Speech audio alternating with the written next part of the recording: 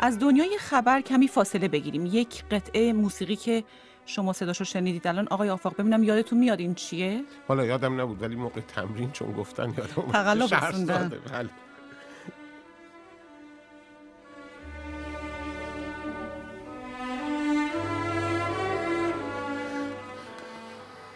به مناسبت 75 مین سالگرد آغاز به کار بی بی سی فارسی از شهرزاد قصه گو خواستیم ما رو به دنیای خیال ببره.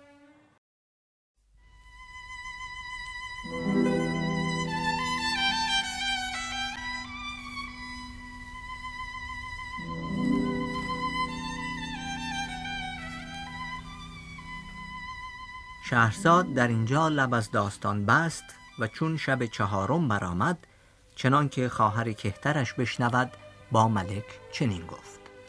ای ملک جوانبخت چون دختر بدونیم شد سلطان از خانه بیرون آمد و جوان را دید که به انتظار او ایستاده است. جوان چون سلطان را بدید شکر به جای آورد و دست پای او را بوسه داد. سلطان نیز خلاصی او را تهنیت گفت و پرسید اکنون در شهر خیش میمانی یا با من میایی جوان پاسخ داد تا جان دارم از تو جدا نخواهم ماند. چون عزم رحیل کردن جوان پرسید ای ملک تا به شهر تو مسافت چیست؟ سلطان جواب داد دو روز. سال 1356 خیلی تصادفی به بی بی سی پیوستم من همسرم در السی تدریس می‌کرد دانشگاه لندن که درست مقابل ساختمان بوش هاست بود. و من اون موقع داشتم تزم رو تموم می‌کردم. داشتیم از جلوی ساختمان بی بی, سی رد می شدیم بوش هاست همسرم گفت چطور یه سری بزنی به بخش فارسی؟ شاید به تو احتیاج داشته باشن. و من گفتم من هیچ وقت کار رادیویی نکردم. ولی گفتم باشه بد فکر نیست. آمدم از من امتحان صدا کردن و ترجمه هم ترجمه هم خیلی سریع بود هم صدام هم همه پسندیدن. این آغاز کار من در بی بی سی بود.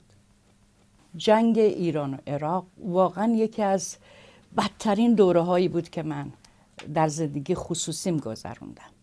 ما موقع مثل شما که الان این همه تجهیزات مدرن دارین ما دسترسی که به اینترنت نشه مثلا اینترنتی وجود نداشت. یک اتاق مرکزی خبر بود و سردبیر آمد به من گفت که فکر نمی کنم دیگه خبر باشه فعلا. همین بولتن رو می‌تونی بولتن پانزده دقیقه بود. یعنی ما 15 دقیقه خبر میخوندیم هر روز صبح. منم اینو گرفتم دستم. وسط راه رو که رسیدم من صدا کرد گفتش که نه یک خبر خیلی مهم. همین الان رسیده به نظرم این خیلی مهمه اینو باید خبر اول بذاری.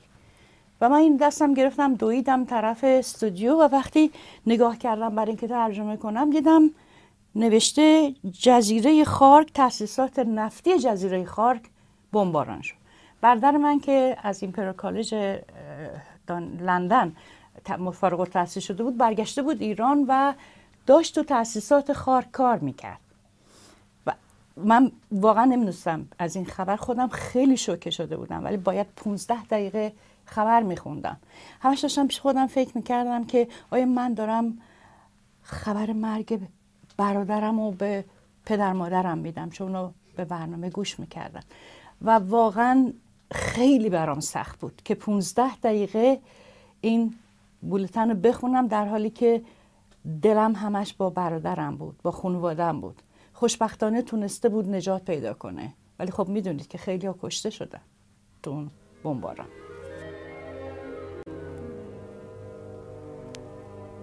بعد از انقلاب و درست همزمان با تحولات تحولات و جنگ داخلی افغانستان ما این داستان ها رو شروع کردیم.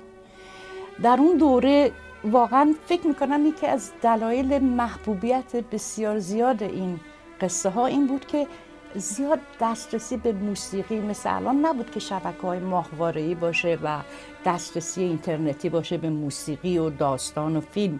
و این واقعا سرگرم کننده بود برای بسیاری از شنونده های ایران و افغانستان. یک بار گروهی از هواداران مجاهدین نمی‌دونم یک گروهی بودن که از افغانستان آمده بودن و با رؤسای ما داشتن در باشگاه اون ساختمان بوش هاست صحبت می‌کردن. و بعد تلفنی شد به من و رئیس ما گفتش که آقای انگلیسی بود. گفت تو بیا پایین توی باشگاه تو بهش می‌گفتیم کلوپ اون کلوپ بی بی سی. بیا من می‌خوام تو رو باید آشنا کنم. وقتی من رفتم این رهبران مجاهدین که اغلب ریش و سیبیل داشتن خیلی هم قوی هیکل بودن عجاب بلند شدن همه با من دست دادن گفتن خانم شهرزاد ما همه به داستانهای شما گوش می‌کنیم. و این همیشه برام تصور تصور این موضوع خیلی خنده دار بود که یه عده نشستن تو کوه و دارن داستانه. و واقعا گوش می‌کردن. چون رادیو ترانزیستوری داشتن همه جا گوش می‌کردن. و تو افغانستان ما خیلی طرفدار داشتیم. و من واقعا شنونده های خیلی خوبی بودن شنونده های افغان. همیشه نامه می نوشتن همیشه تشویق می کردن خیلی خیلی من باهاشون میونه خوبی داشتم.